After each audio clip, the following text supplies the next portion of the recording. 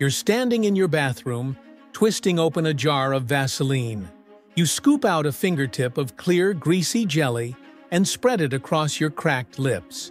It feels slick, almost waxy, with that familiar texture you've known since childhood. It's the same stuff your grandmother used on her hands every winter. The same stuff hospitals put on newborns to protect their skin. Simple, familiar, unremarkable.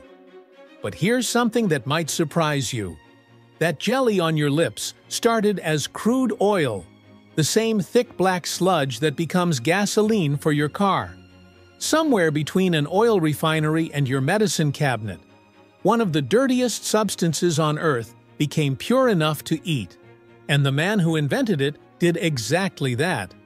Robert Chesebrough ate a spoonful of Vaseline every single day. He lived to 96. Petroleum jelly was discovered by accident in 1859 on the oil fields of Titusville, Pennsylvania, the site of America's first commercial oil well. Workers drilling for crude noticed a waxy residue building up on their pump rods. They called it rod wax and considered it a nuisance. It clogged equipment, jammed valves, and slowed production. But they also noticed something strange. Workers who got this residue on cuts and burns healed faster than those who didn't.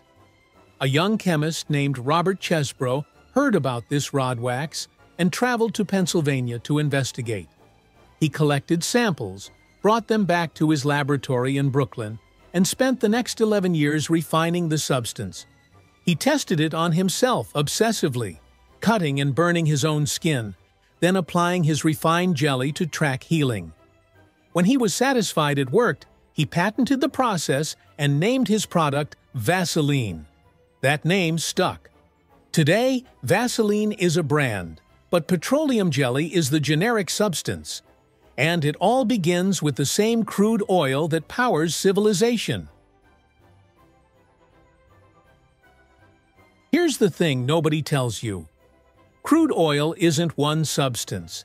It's a mixture of thousands of different hydrocarbons, molecules made of hydrogen and carbon atoms arranged in chains of varying lengths. Short chains become gases like propane and butane. Medium chains become gasoline and diesel fuel. Long chains become waxes, lubricants, and heavy oils. Petroleum jelly comes from the longest, heaviest fraction the thick residue left at the bottom after everything else has been extracted and sold. The process starts with fractional distillation.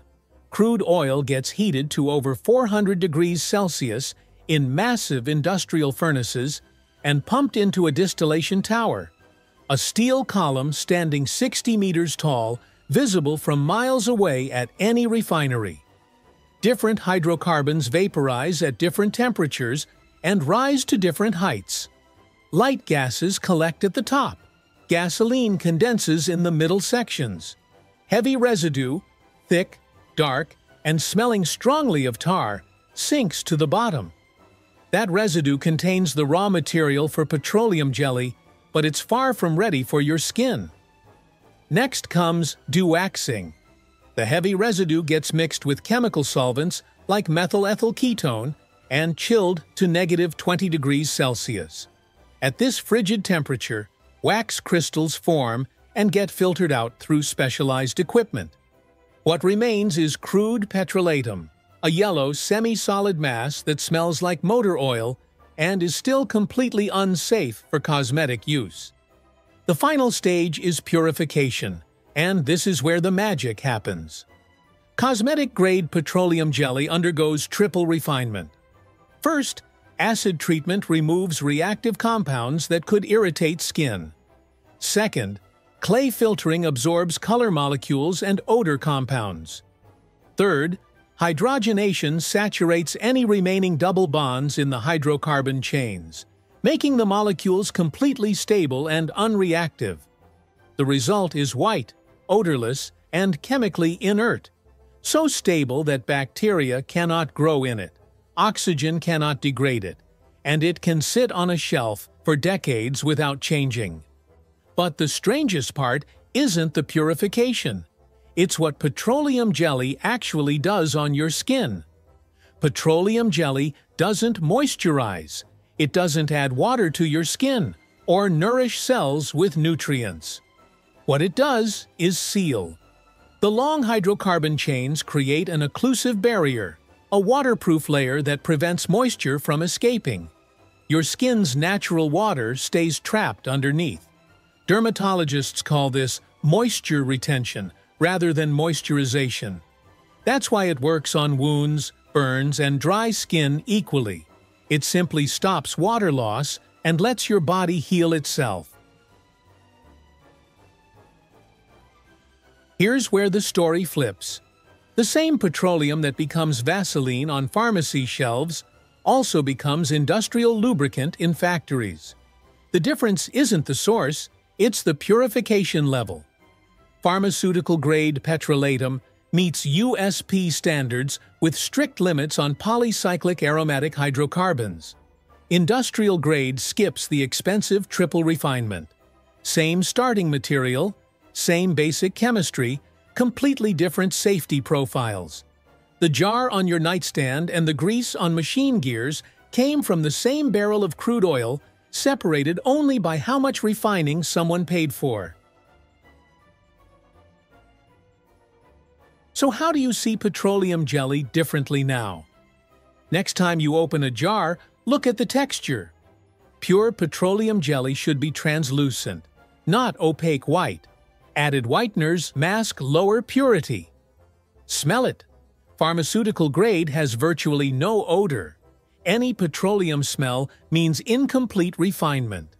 Check the label for USP or BP designation. These indicate pharmaceutical standards, not just cosmetic grade. Feel the consistency between your fingers. High-quality petroleum jelly melts smoothly at body temperature without graininess. Grainy texture suggests incomplete dewaxing, larger wax crystals that shouldn't be there. And notice how long the barrier lasts. Properly refined petrolatum stays effective for hours because the molecular chains are uniform. So next time you twist open that familiar jar, you'll know. You're not just applying jelly.